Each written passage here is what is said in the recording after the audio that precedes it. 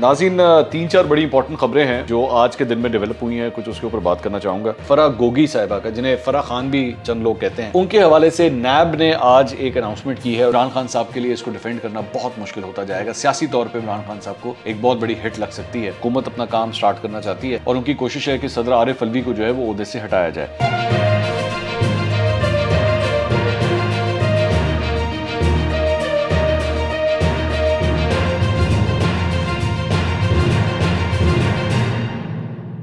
असल नाजीन मैं हूँ मंसूर अली खान। अपने यूट्यूब चैनल के ऊपर आपको खुश आमदीद कहूँगा। सबसे पहले आपसे दरख्वास्त के चैनल को सब्सक्राइब करना मत भूलिएगा और बेल आइकन ज़रूर प्रेस कीजिएगा।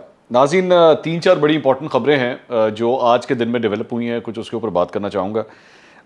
सबसे पहले ज़रा एक जो खबर आई है वो पेट्रोल के हवाले से आई है। पेट्रोल की कीमत जो है वो आ, मेरे कायद शबाज शरीफ साहब ने उसकी कीमत बढ़ाने से इनकार कर दिया है और समरी को रिजेक्ट कर दिया गया है और फ़िलहाल यकम मई को जो है वो यही कीमतें रहेंगी।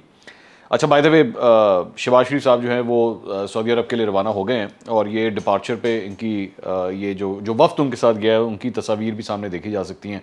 मफ्ता इसमाइल यहाँ पे मौजूद हैं शाहजैन बुगटी नज़र आ रहे हैं ख्वाजा आसिफ यहाँ पे नज़र आ रहे हैं बिलावल भुट्टो जरदारी यहाँ पे नज़र आ रहे हैं। तो ये जो लोग हैं ये शबाज शरीफ साहब के साथ गए हैं। अच्छा coming back to petrol petrol की कीमत जो है वो बढ़ाने से इनकार कर दिया है। वैसे तो जारी बात है लोगों के लिए तो बड़ी खुशी की बात ये होगी और मैं इस पर पहले भी जब इमरान खान साहब ने भी एक्चुअली ये फैसला किया था कि दस दस रुपये जो है वो कीमतें इसकी कम की थी तो मैंने उस वक्त भी ये बात कही थी कि भाई आपके पास पैसे कहाँ से आएँगे? तो शबाज शरीफ साहब के वैसे तो मतलब लोगों के लिए तो ये बड़ी अच्छी खबर होगी और उनके जो चाहने वाले हैं, वो सारे इस बात को सपोर्ट कर रहे होंगे जी, बड़ा कमाल कर दिया, बड़ा ज़बरदस्त कर दिया। लेकिन मेरे ख्याल में इससे बड़ी कोई गलती नहीं हो सकती और मैं आपको बताता हूँ क्यों। वो इसकी वजह ये कि आपके पास इस सारी सब्सिडीज़ को देने के लिए पैसे कहाँ से आएँगे? तो ये टोटली एक सियासी बुनियादियों के ऊपर लिया हुआ फैसला है जिसकी इकोनॉमिक कंडीशंस के अंदर जो है कोई समझ बूझ नहीं बनती। और सियासी बुनियादों के ऊपर ऑब्वियसली पहले ही हुकूमत के ऊपर इस वक्त इकोनॉमिक कंडीशंस के हवाले से काफ़ी प्रेशर है। ऊपर से लोड शेडिंग का अजाब जो है वो वैसे आया हुआ है मतलब यहाँ पे चंद जगहों के ऊपर एक घंटा लाइट आती है, एक घंटा लाइट जाती है, आजकल ये सूरत हाल हुई भी है। वैसे तो शबाज शरीफ साहब ने कहा है कि जी पहली तारीख से सब ठीक हो जाएगा। लेट्स सी लेट्स सी क्या होता है इस मामले में। लेकिन ये जो पेट्रोल के हवाले से जो फैसला किया है ये टोटली सियासी बुनियादों के ऊपर ये जानते हैं इस बात को कि इमरान खान साहब ने इस्लामाबाद की चूँकि कॉल दी हुई है तो ऐसी सूरत हाल में इस किस्म का डिसीज़न लेना कि पेट्रोल की कीमतें भी बढ़ा दी जाएँ वो बेसिकली और इनके ऊपर प्रेशर बिल्ड करेगा। तो इस वजह से ये इस किस्म का फैसला लिया गया है जिसकी कोई आ, मतलब समझ बूझ इस बात की नहीं आती। तो वैसे तो मिफ्ता इस्माइल साहब ने हमसे भी बात करते हुए बात इंटरव्यू के अंदर कही थी कि जी फ़िलहाल हम कोई इंक्रीज़ नहीं करने जा रहे लेकिन मैं ये समझता हूँ कि ये टोटली एक सियासी फैसला है जिसकी कोई कैलकुलेशन जो है वो नहीं समझ आती। इमरान खान साहब ने भी एक गलत फैसला किया था और अब शबाज शरीफ साहब भी जो है उस इकोनॉमिकली एक गलत फैसला कर रहे हैं। अब देखते हैं आगे चल के क्या होता है। अच्छा आ, दूसरी बात जी एक और जो खबर आई है वो एंकर पर्सन और सहाफ़ी अरशद शरीफ साहब के हवाले से आई है। अरशद शरीफ साहब के वकील हैं फैसल हुसैन साहब फैसल हुसैन जो बेसिकली फवाद चौधरी साहब के भाई भी हैं, उनकी जानब से आज अरशद शरीफ साहब की जानब से एक पटिशन इस्लामाबाद हाई कोर्ट में जमा करवाई गई है और दरख्वास्त की गई है कि जी एफ़ आई ए को जो है वो रोका जाए मुझे हरासा करने से। अब वहाँ पे फैसल साहब ने जो प्ली ली है वो ये है कि जी कल रात को आठ बजे के करीब जो है चंद सादा कपड़ों में अफराद जो हैं वो उनके घर आए हैं। और आ, साथ ही साथ साबिर शाकिर साहब और अरशद शरीफ साहब को जो है वो आ, इन तमाम चीज़ों से रोका जा रहा है और उनको जर्नलिज़म करने से रोका जा रहा है और ये जो है उनको हरासा कर रहे हैं। अगर तो ये बात सच है अगर तो ये बात हकीकत है तो मैं बिल्कुल पुरजोर तौर पर इस बात की मजम्मत करता हूँ और आ, मैं ज़ाहरी बात है ये नहीं हो सकता कि आज अगर कोई हुकूमत तब्दील होगी तो हम सहाफ़ियों का साथ ना दें। साबिर शाकिर साहब हों या अरशद शरीफ साहब हों। अगर उनकी कोई ख़बर के ऊपर कोई इतराज़ है, अगर उनकी कोई ख़बर गलत है तो आप उसको लीगली उसको चैलेंज करें, लेकिन हरासा करने का जो है कोई सेंस नहीं बनता। आपको याद होगा कि जिस दिन इमरान खान साहब के ख़िलाफ़ तरीक अदम अतमाद मंजूर हुई थी तो उसी दिन सुबह अरसलान खालिद, जो बेसिकली इनकी सोशल मीडिया टीम के भी एक बड़े एक्टिव रुकन हैं उनको जो है आ, उनके घर के ऊपर भी इस तरह एक छापा मारा गया था और मैंने उसकी भी पुरबजोर मजम्मत की थी। तो अरशद शरीफ साहब के साथ भी अगर ये सब कुछ हुआ है तो इंतहाई गलत है। ये नहीं हो सकता कि आप इस तरह जाके सहाफ़ियों को जो है वो हरासा करें। And it is a matter of concern Faisal साहब का ये कहना है जो उनके वकील हैं उनका ये कहना है कि जी मुझे रात को सिर्फ़ एक मैसेज आया था और उसके बाद से मेरा अरशद शरीफ से रबता नहीं हुआ है। तो it is a matter of concern और मैं चाहूँगा कि आई होप कि ही सेफ़ एंड साउंड और uh, उनको वो जो भी बोलना चाहते हैं जो भी कहना चाहते हैं उनको पूरा हक होना चाहिए। अगर किसी को उनकी दी हुई किसी खबर के ऊपर इतराज़ है तो उसका एक लीगल uh, उसकी रेमेडी मौजूद है। आप उसको अपनाएँ लेकिन इस तरह किसी सहाफ़ी को जो है वो हरासा नहीं किया जा सकता। दूसरी एक और ख़बर जो आ रही है uh, वो आई है जनाब मुसद्दिक मलिक साहब के हवाले से। डॉक्टर मुसद्दिक मलिक ने जो है वो आज वज़ी ममलिकत का हलफ उठा लिया है और आज उनसे आरिफ अलवी साहब ने जो है वो ये हलफ लिया है। तो काबीना जो है वो मज़ीद एक्सटेंड हो रही है। डॉक्टर मुसदिक मलिक जो है is a very learned person और मैं उनको बड़ा हाई ग्रेड करता हूँ उनके इंतज़ामी मामला के हवाले से और उनका उनका जिस किस्म का भी मतलब माइंड सेट है, मेरा ख्याल में is a good addition to the cabinet अब देखना यह है कि आगे उनकी परफॉर्मेंस किस तरह होती है, ये तो वक्त बताएगा। इसके अलावा एक इंपॉर्टेंट ख़बर जो आई है वो जनाब ये खबर आई है कि इमरान खान साहब, कासिम सूरी जो सबक डिप्टी स्पीकर हैं, गवर्नर पंजाब उमर चीमा और सदर आरिफ अलवी के ख़िलाफ़ मौजूदा हुकूमत जो है वो आर्टिकल छः के तहत रेफरेंस दायर करने का जो है वो फ़ैसला कर रही है और इन सब के ख़िलाफ़ जो है वो आइन शिकनी की बुनियाद के ऊपर जो है वो रेफरेंस दायर करने का इरादा रखते हैं। अब आर्टिकल छः जो है वो आइन से गद्दारी के हवाले से जो है वो सब कुछ होता है। इस सिलसिले में वजारत कानून इंसाफ और वजारत दाखिला जो है इसके ऊपर इस वक्त काम कर रही है और ये खबर आज मुख्तलिफ़ चैनल्स के ऊपर जो है वो फ्लैश हुई है। अब आ, मैं इस पर इस पर क्या मेरा पॉइंट ऑफ़ व्यू है? देखिए आर्टिकल छः जो है ना ये एक बड़ी ही ख़तरनाक क्लॉज है बहुत ख़तरनाक क्लॉज है और आ, इसकी बड़ी संगीन इसके रिप्रकशंस हैं। मैं मानता हूँ कि आइन के हवाले से जो है वो कासिम सूरी साहब ने जो कुछ किया और कोर्ट ऑफ़ लॉ ने भी एक्चुअली यही कहा कि जी, आपने जो है वो आइन की खिलाफ वर्जी की है। इस पर डिटेल वैसे अभी फैसला जो जजमेंट है वो भी आनी है। लेकिन इनिशियली तौर पे जो है वो जो उस दिन एक फ़ैसला आया था, जिसकी बुनियाद के ऊपर फिर सुप्रीम कोर्ट ने कहा था कि जी, आप तहरीक अदम अतमाद का पूरा प्रोसेस जो है उसको कंप्लीट करें। तो उस बुनियाद के ऊपर तो वाकई ये लगता यही है। लेकिन इस, ये ये प्रोसेस अगर चल पड़ा तो ये बड़ा डेंजरस प्रेसिडेंट है। और मैं कभी भी, मैं कभी भी पॉलिटिशियंस को जो है वो इस कटेरे में ला के खड़ा करने के हक में नहीं हूँ। जारी बात है, बहुत से लोग कहेंगे कि जी, अगर उन्होंने आइन तोड़ा है तो फिर उनके साथ यही होना चाहिए। लेकिन बात पता क्या है अगर आप सियासत के मैदान से लोगों को इस तरह रेस में से निकालने की कोशिश करेंगे ना तो ये बड़ी ख़तरनाक चीज़ है। ये बहुत ख़तरनाक बात है। और इसका जो है वो, इसके रिप्रिकॉशंस जो है वो बड़े डेंजरस हो सकते हैं। तो वैसे तो इन लोगों ने भी जो है वो पिछले दौरे हुकूमत में यही सब कुछ किया था, नून लीग के लोगों के ख़िलाफ़ और जो एक सबक डी जी एफ़ आई हैं बशीर मेमन, उन्होंने ये कहा था कि जी इमरान खान साहब ये जो है वो चाहते थे, बल्कि उन्होंने ख्वाजा आसिफ के हवाले से कहा था कि जी इसके खिलाफ आर्टिकल छः लगाओ और किसी तरह इसको जो है वो ज़रा कस के रखो। तो अब ये हुकूमत भी जो है वो इसी किस्म की हरकत करने का जो है वो इरादा रखती है which I think is a very dangerous president अब मुझे नहीं पता ऑब्वियसली ये तो जब रेफरेंस फ़ाइल होगा तो फिर पता लगेगा कि उनकी ग्राउंड्स क्या हैं, जिन ग्राउंड्स की बुनियाद के ऊपर वो ये सब कुछ कर रहे हैं। और इसके अलावा एक और ख़बर जो आई है, ये आई है एक्सप्रेस ट्रिब्यून के अंदर कि ईद के बाद जो है वो सदर आरिफ अलवी के इम्पीचमेंट के ऊपर जो है वो हुकूमत अपना काम स्टार्ट करना चाहती है और उनकी कोशिश है कि सदर आरिफ अलवी को जो है वो उहदे से हटाया जाए। अब आरिफ अलवी साहब के हवाले से भी यही कहा जा रहा है कि जी उन्होंने गैर आइनी गैर कानूनी चंद चीज़ें की हैं जिसकी बुनियाद के ऊपर जो है उनकी इम्पीचमेंट को एक्टिवेट किया जाएगा। अब, असल प्रॉब्लम आ रही है इस हुकूमत को नंबर गेम के हवाले से। कौमी असम्बली के अंदर इस वक्त इनके पास एक सौ चौहत्तर अफराद हैं, एक सौ चौहत्तर वोट हैं। सेनेट के अंदर इनके पास तकरीबन सत्तर वोट हैं और पाकिस्तान तहरीक इंसाफ के जो नाराज़ अरकान हैं, इनकी टोटल तादाद तकरीबन कोई तैंतीस तक जाके बन जाती है। तो ये फिगर बनता है 277 का। 18 वोट इनके पास अभी भी कम है, जो रिक्वायर्ड नंबर्स इनको चाहिए इनको रिक्वायर्ड नंबर्स दो चाहिए। 442 का जो ऐवान बनता है कौमी असम्बली और सेनेट का टोटल मिला के तो इसमें से दो वोट इनके पास होना चाहिए तो 18 वोट इनके पास अभी भी कम है।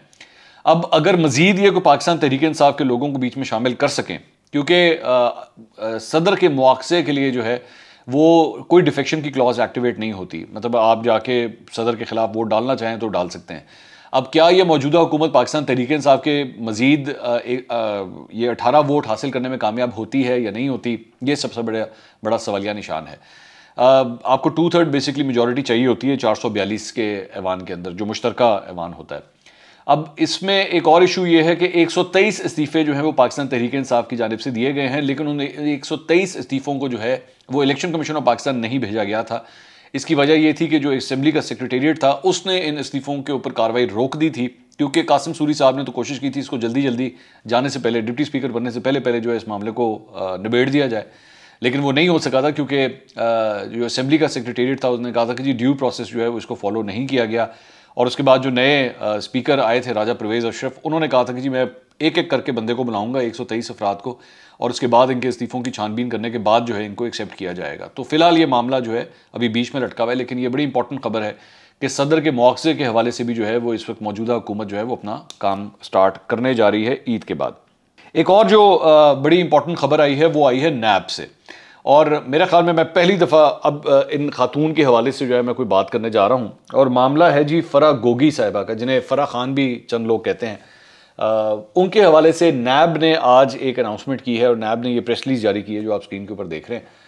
इसके अंदर मैं इसको जल्दी से मैं पढ़ देता हूँ उसके बाद इसके ऊपर मजीद बात करते हैं। उन्होंने कहा जी NAB has authorise inquiry against Farah Shahzadi alias Farah Khan and others on the allegations of accumulation of illegal assets beyond known source of income, money laundering, and maintaining various accounts in the name of different businesses. In this regard, DG Naib Lahore has been directed to conduct an inquiry in this matter as per law. Huge turnover amount to rupees 847 million, तकरीबन चौरासी करोड़ रुपया बनता है पचासी करोड़ तकरीबन बन जाता है has been found in an account during the last three years which does not uh, commensurate with a stated account profile. These credits were received in a personal account and withdrawn immediately after credit within a short time period. Multiple adverse media reports were found where Farad Shehzadi alias Farah Khan was allegedly alleged to be involved in assets beyond legal means. While reviewing the income tax returns of Farad Shehzadi alias uh, uh, Farah Khan, it was allegedly observed that her assets have significantly increased from the year 2018 onwards for unknown reasons. Moreover, she has been frequently traveling to foreign jurisdictions, nine times to USA and six times to the UAE. नौ दफ़ा ये America गई हैं और छः दफ़ा जो है वो मुतहदा अरब अमारात मोस्ट प्रॉब्ली दुबई गई हैं। और ये कहा जा रहा है कि जी इनके अकाउंट में तकरीबन पचासी करोड़ रुपए की ट्रांजेक्शन हैं और ये सारा कुछ शो करता है कि एसेट्स बियॉन्ड मीन का जो है वो मामला बनता है। क्योंकि इन्होंने जो इनकम टैक्स डिक्लेरेशन की हुई है उसमें ये पचासी करोड़ रुपये जो है उसके साथ मुताबकत नहीं रखता। अब फ़रा शहज़ादी जो हैं, मैं इनके बारे में फ़रा ख़ान या फ़रा चले फ़रा ख़ान ही कह लेते हैं। इनके बारे में जो एक ख़बर आई थी, वो ये थी कि जनाब समा के ऊपर ये ख़बर आई थी और ये ख़बर कल जारी हुई थी। जाहिद गुशकोरी साहब head of investigation Samaa television उन्होंने ये ख़बर दी थी क्रेडिट उनका है। उन्होंने ये कहा था कि जी, चक्री और रवात इंटरचेंज पर जो है, वो 200 कनाल की ज़मीन इनकी जानब से ख़रीदी गई। दो सौ कनाल की ज़मीन ख़रीदी इन्होंने। और ये जो ज़मीन थी, ये इन्होंने दो करोड़ साठ लाख रुपए में इस्लामाबाद के शायद महमूद से ख़रीदी और उसके डॉक्यूमेंट्स भी जो हैं वो इन्होंने शेयर शेयर किए हैं। और ये बेसिकली जैसे ही रिंग रोड का स्कैंडल आया तो उसके बाद ये ज़मीन जो है, ये जो दो करोड़ रुपए की, दो करोड़ साठ लाख रुपये की ज़मीन थी, इसे बेच दिया गया। और ये डील जो है, एक फ्रंट मैन के ज़रिए जो है, वो ये डील करवाई गई। और अब अलेजडली ये ज़मीन फ़रोख करते वक्त ये एक अरब से जायद की डील हुई है, जो ये बताया जा रहा है। तो ये सिर्फ़ एक मामला है जो इनके ऊपर आया हुआ है। इसके अलावा और भी चंद ज़मीनों के मामला हैं, जिसमें इनका नाम जो है वो बीच में आता है। अब फ़रा खान साहबा जो हैं, इनके बारे में मैं थोड़ा सा सिर्फ़ बैकग्राउंड बता दूँ कि इनके बारे में कहा जाता है कि ये खातून, सबका खातून अवल सॉरी बुशरा बीबी की सहेली हैं। और इनके बारे में ये कहा जाता था कि जी, पंजाब की जो जो भी मामला होते हैं उसमें उसमें इनका जो है वो बड़ा एक सेंट्रल किरदार रहा है। इससे पहले भी इनका नाम कई दफ़ा गर्दिश कर चुका है। ये ख़ास तौर पे इनकी जो तस्वीर है पीले कपड़ों के अंदर, इसके अंदर जो जिस किस्म का बैग है और नज़र आ रहा है कि एक चार्टर्ड प्लेन के अंदर ये मौजूद हैं। इनके हस्बैंड भी एक्चुअली आए थे, इन्होंने मुख्तु talk show TV talk shows के अंदर अपने इंटरव्यूज़ दिए थे। तो उन्होंने कहा था कि जी, ये तो इनके लिए आम सी चीज़ है, वो अमीर कबीर खातून है, इनके पास काफ़ी पैसा है तो ये इस, इन चीज़ों से कोई फ़र्क नहीं पड़ता। इसमें उन्होंने ये भी बताया था कि जी इनके पास, इनके हस्बैंड के पास जो हैं, तकरीबन कोई उन्नीस गाड़ियाँ हैं। तो अब मैं बार बार यही बात कहता हूँ और मैं दोबारा वही बात करूँगा कि ये एलिगेशंस हैं। ये अभी तक एलिगेशंस हैं। ये इंक्वायरी अभी स्टार्ट हो रही है, अभी देखते हैं। और दूसरी बात ये है कि नैब के ऊपर एक, जब मैं ये बात नून लीग के लिए कहता था तो यही बात पाकिस्तान तरीके इंसाफ के लिए भी कही जाएगी कि इसी नैब के ऊपर बार बार यही इल्ज़ाम लगता रहा है कि जनाब पोलिटिकल विक्टमाइजेशन के लिए जो है वो इदारा इस्तेमाल होता रहा है। अब इस मौजूदा दौरे हुकूमत में, इससे पहले इसी नैब ने आज तक तो कोई कार्रवाई नहीं की थी। मतलब जब पिछला दौरे हुकूमत था तो इन्हीं फरा खान के हवाले से किसी किस्म की कोई कार्रवाई नहीं हुई थी। अब हुकूमतें चेंज हुई हैं तो इनके खिलाफ जो है वो अब कार्रवाई का आगाज़ कर दिया गया। पहले जैसे नैब सोई हुई थी, उनको पता ही नहीं था कि जनाब ये सब कुछ हो रहा है। दूसरी बात यह कि ये वही नैब है, जिस हवाले से शायद का कान अबासी साहब ने कहा था कि जब हमारी हुकूमत आएगी तो हम इस नैब को ख़त्म कर देंगे। अब ये वही नैब जो है वो इनके मुखालफी के ख़िलाफ़ इस किस्म के एक्शन ले रही है। I will still go with this plea I am sorry मैं एक सहाफ़ी हूँ। मेरा फ़र्ज़ है कि मैं जब तक किसी के ख़िलाफ़ कोई एक्शन प्रूव ना हो जाए जब तो उस, उसे कोई कॉम्पिटेंट अदालत जो है वो गिल्टी ना कंसिडर कर ले मेरी नज़र में वो नॉट गिल्टी ही रहेगा। हाँ इंक्वायरी होनी चाहिए। हाँ इसकी पूरी तरह इन्वेस्टिगेशन होनी चाहिए। लेकिन every one is not guilty till proven guilty अलबत्ता अलबत्ता इसका एक सियासी एंगल भी है। और वो सियासी एंगल एक्चुअली रिसेंट चंद दिनों के अंदर नज़र भी आना शुरू हो चुका है। और वो ये है कि इमरान खान साहब जो हैं वो बार बार इमरान खान साहब की चूँकि फैमिली का ताल्लुक जो है वो इन खातून के साथ काफ़ी गहरा है। तो इस सिलसिले में मरियम नवाज़ और मुस्लिम नून के लोग जो हैं अब जलसों में बार बार बार बार इन खातून का नाम जो है वो लेना शुरू हो चुके हैं। तो आ, मुझे ये लगता है कि सियासी तौर पे इस मामले को जो है वो ज़्यादा से ज़्यादा पिक किया जाएगा उठाया जाएगा डिस्कस किया जाएगा जलसों के अंदर बार बार इन खातून का नाम लिया जाएगा। जबकि पाकिस्तान तहरीक इंसाफ के लिए जो है काफ़ी डिफ़िकल्ट होता जा रहा है इनको डिफेंड करना, क्योंकि उनको भी इस बात का पता है कि इन खातून के जो हैं वो खातून अवल के, सॉरी, सबका खातून अवल के साथ जो हैं वो बड़े गहरे मुनासिब रहे हुए हैं। और जब तक आपको एक एक अथॉरिटी जो पावर के अंदर होती है, उस तरफ़ से कोई सरपरस्ती हासिल ना हो, तब तक इस किस्म के एलिजिडली इतने बड़े स्कैम्स जो हैं वो नहीं हो सकते। तो अगर तो इस इन्वेस्टिगेशन के अंदर जो है कोई सीरियस चीज़ें निकलना शुरू हो गई तो इमरान खान साहब के लिए इसको डिफेंड करना बहुत मुश्किल होता जाएगा। सियासी तौर पर इमरान खान साहब को एक बहुत बड़ी हिट लग सकती है।